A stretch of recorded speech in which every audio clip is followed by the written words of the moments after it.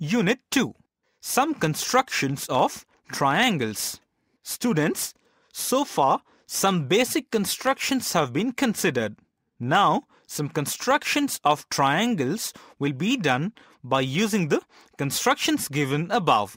To construct a triangle, given its base, a base angle, and sum of other two sides.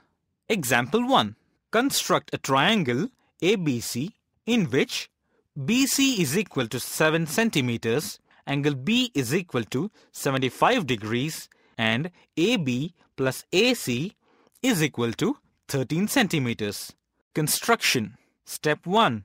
Draw the base BC which is equal to 7 centimeters and at the point B make an angle XBC which is equal to 75 degrees. Step 2. Cut a line segment BD which is equal to 13 centimeters which is equal to AB plus AC from the ray BX. Step 3. Join DC and make an angle. DCY is equal to angle BDC. Here, angle BDC is equal to 30 degrees. So, make an angle DCY is equal to 30 degrees. Step 4.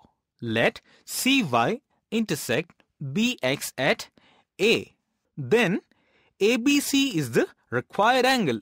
Justification.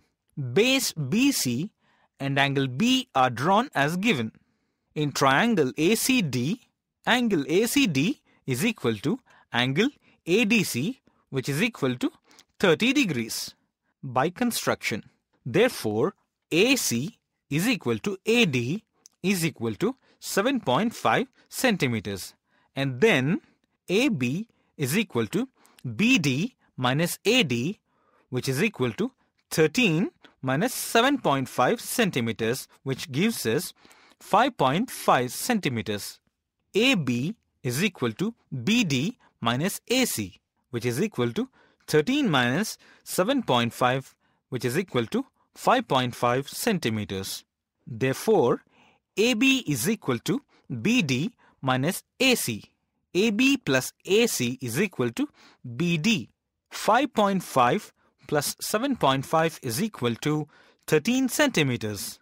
Is that clear?